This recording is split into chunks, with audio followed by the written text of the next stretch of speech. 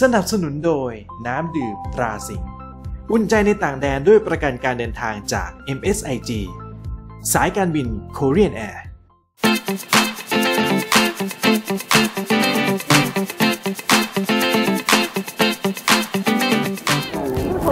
จากบรรยากาศอันอบอุ่นนะครับ แล้วก็หนาวนิดหน่อยของปูซานนะฮะ ตอนนี้เรามาอยู่ที่โซลแล้วครับ เมืองหลวงของเกาหลีนะฮะ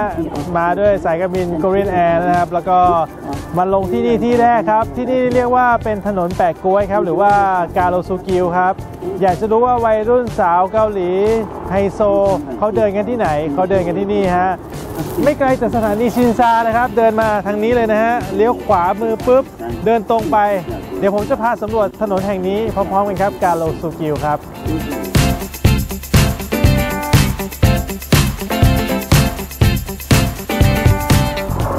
ถึงถนนเส้นนี้นะครับ มีชื่อว่ากาโลซูกิวนะครับ แปลว่าถนนสายแปะกล้วยนะคุณผู้ชมนะ ถ้ามาในหน้าร้อนหรือว่าหน้าฤดูใบไม้ผลิหรือฤดูใบไม้ร่วงเนี่ยจะเห็นต้นจะเห็นใบแปะกล้วยนะฮะเต็มไปหมดเลยคุณผู้ชมนะ ที่นี่นะก็เป็นที่ตอบโจทย์ของวัยรุ่นนะครับ แล้วก็นอกจากกาโรซูกิวนะฮะจะเป็นมีถนนเส้นหลักแล้วนะฮะจะมีสายย่อยๆเนี่ยแตกแขนงออกไปเยอะแยะมากมายคุณผู้ชมนะ นอกจากจะมีแบรนด์นอกแบรนด์เกาหลีนะฮะ แล้วก็ยังมีเรื่องของดีไซเนอร์เลยคุณผู้ชมนะ ที่นี่มีแต่ดีไซเนอร์ที่ชื่อดังคนหนึ่งนะครับ แล้วก็งานของเขาเนี่ยมีเอกลักษณ์มากๆครับ ร้านนี้ครับยักษ์ชิมวอนรูปร่างก็จะเป็นตัวการ์ตูนชนิดหนึ่งนะครับ ที่เขาดีไซน์มาแล้วก็เขาบอกว่าดังมากๆนะครับในเวทีโลกเลยทีเดียวนะฮะกับแบรนด์นี้ครับ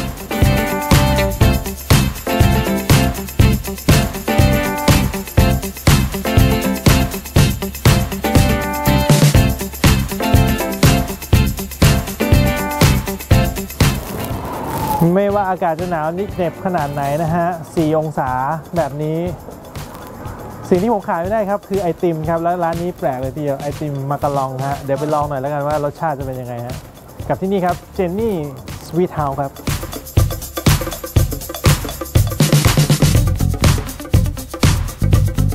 เดี๋ยวมาดูรสชาติกันว่าจะเป็นยังไงนะ เนื้อเนี่ยไม่ได้แข็งเหมือนมากะลองทั่วไปนะฮะจะนิ่มๆคล้ายๆขนมปังนะฮะ อืมอร่อยใช้ได้คุณผู้ชม ได้ texture ของมาการองครับ สุดยอดมากๆ ใครมาต้องมาลองนะฮะ อร่อยจริงๆครับไอติมมาการองครับ จากถนนแปะกล้วยแกรโรซูกิวนะครับเรานั่งรถมาไม่นานครับคุณผู้ชมครับมาถึงที่นี่นะลอตเต้เวิลด์มอลล์นั่นเองครับ ซึ่งเป็นห้างสรรพสินค้าที่เป็นที่ตั้งของสวนสนุกกลางใจเมืองอย่างลอตเต้เวิลด์ด้วยนะฮะ ที่นี่นะครับก็มีส่วน 2 ส่วนนะฮะก็คือในร่มแล้วก็สวนสนุกกลางแจ้งครับคุณผู้ชมครับ ก็ถือว่าเป็นสวนสนุกที่อยู่กลางใจเมืองที่น่าสนใจเลยทีเดียวนะฮะถ้าใครมาโซเนี่ยต้องมาแวะที่นี่ครับลอตเต้เวิลด์ครับ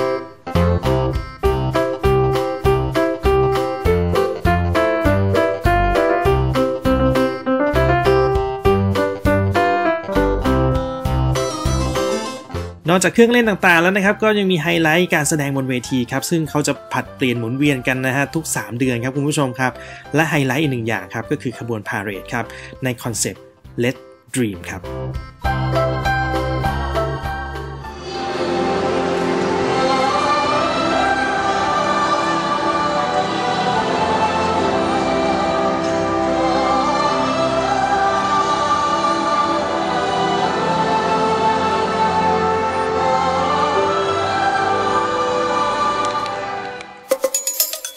ปิดท้ายครับคืนแรกของกรุงโซลนะครับด้วยการมาเดินตลาดเมียงดงครับแต่ผมไม่ได้มาช้อปปิ้งครับคุณผู้ชมครับ ผมจะมาทานซีฟู้ดปิ้งย่างนะฮะในสไตล์แบบเกาหลีด้วยนะครับมีปลาหมึกกระดึ๊บกระดึ๊บแบบนี้ด้วยนะฮะ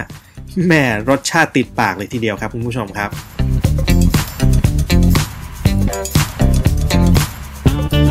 นอกจากปลาหมึกกระดึ๊บแล้วนะครับยังมีหอยขนาดใหญ่ยักษ์แบบนี้นะครับทั้งหอยเชลล์หอย